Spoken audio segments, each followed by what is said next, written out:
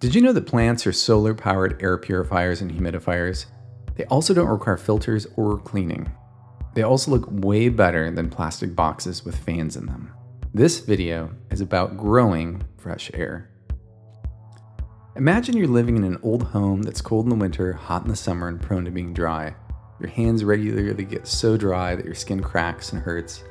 And some rooms in your house get a bit funky for portions of the year. It doesn't bother you too much as it seems normal. And one day, you have this idea that maybe you could fix the dryness with a humidifier and the funkiness with a ventilation unit. You start looking into both and you add one to your shopping cart online. Then you happen across a video that explains how indoor plants can both clean and humidify homes. You immediately search out more videos on the topic and find NASA actually did research on using plants to create fresh air in space.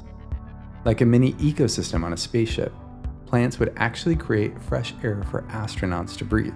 You think, if it's good enough for a spaceship, why not my home? So you take the humidifier out of your shopping cart online and you watch more videos on all the amazing things plants can do. Then you start telling everyone you know about it. That is my story. I'm David Mead, a building performance specialist in Seattle, and this video will show you how I started growing fresh air in my home, and I hope you'll consider doing the same.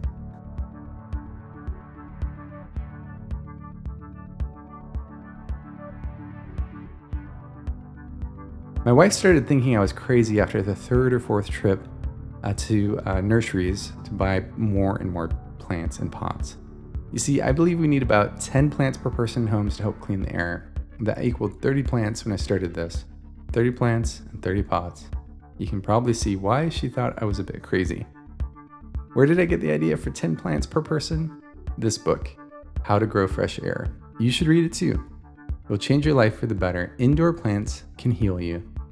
The book explains how NASA did research on how plants clean air and create oxygen.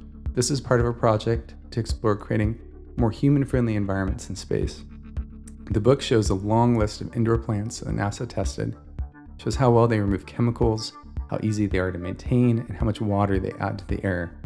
I read it cover to cover and immediately made plans to buy plants to fix problems in our home. When I got to the first nursery, they actually had a section on plants that were part of the NASA research. I had no idea it was this mainstream. Unfortunately, most of the large plants that were in the book were quite expensive, like 50 to $200. We didn't have the kind of budget for houseplants, so we started looking around and I found some small ones that were more like 5 to $10 each. I then bought enough plants to fill many rooms in the house on multiple visits to different nurseries around Seattle. I bought some soil and pots and uh, planned a potting party. My family had a main potting party on a sunny day. It was great to get all of our hands dirty in this. Working with soil and plants is always intriguingly relaxing. Then we started putting plants around the house and figuring out how to have them work with our furniture. By the time we were done, we had about 30 plants distributed throughout the house, lots of cute little baby plants in large pots.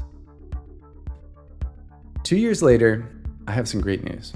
Almost all the plants are still alive and they're larger than most of the $100 plus plants we saw in the nursery. Some of them are taller than our windows, even. The best part isn't the fact that we don't have dry air or cracked skin anymore. It isn't even that the air is so much cleaner than before and the funkiness is gone. Is how beautiful and peaceful they are. They're the first thing I notice in most rooms. I find myself looking at them more than about anything other than my family, as they naturally draw the eye and relax the mind. They have brought immense joy to all of my family, which was not something the book talked about. My home experiment led to collaboration on a grant project at PAE Engineers, where we tested the impacts of plants on indoor air quality in a conference room in our office at the Bullitt Center. That is a story for another day, however, but it had similar outcomes. If you like this video, let me know. I can make more videos on the details of the plants, how to maintain them, and the research we did at PAE.